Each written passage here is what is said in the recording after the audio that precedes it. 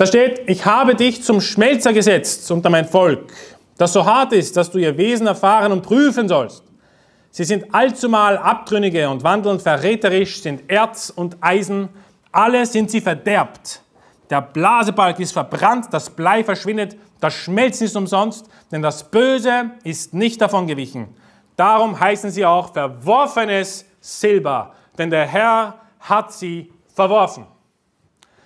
Diese Menschen sind nicht mehr zu reinigen, nicht reinigbar. Es ist zu spät. Es ist zu viel Finsternis in diesen Menschen geworden, dass Gott sie verworfen hat.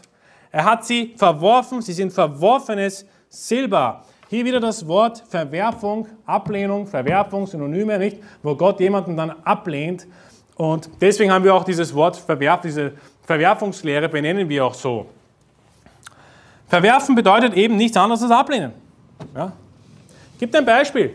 Wenn, ich, wenn du jetzt zum Beispiel einen Plan schmiedest, okay, heute werde ich durch Pforzheim fahren und dann nach Stuttgart und irgendwie zum Flughafen dorthin, nichts? Und ich werde genau diese Route nehmen, diese. Und dann sagt dir eben das GPS, du, da gibt es einen Unfall auf dieser Route. Du würdest dich drei Stunden verspäten. Wäre ziemlich dumm, wenn du diese Route trotzdem nimmst. Es gibt auch andere schnellere Routen. Ja? Also mach's nicht, geh die schnelle Route. Aber wenn du die schnellere Route gehst, eben diese andere, wo kein Unfall ist, was machst du dann mit dem ersten Plan? Du verwirfst ihn.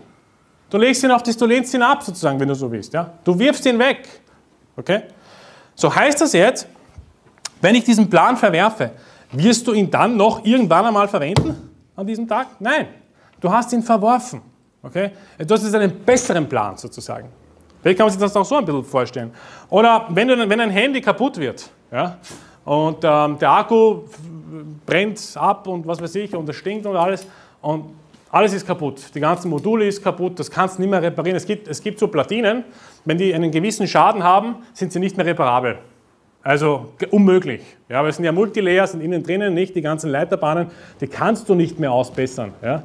Deswegen schmeiß es einfach weg. Du verwirfst es. Es ist kaputt. Es ist für, den, für die Müllverbrennung gedacht. Nicht? Und so ist das zu verstehen. Das heißt, verwerfen bedeutet, du schmeißt es einfach weg.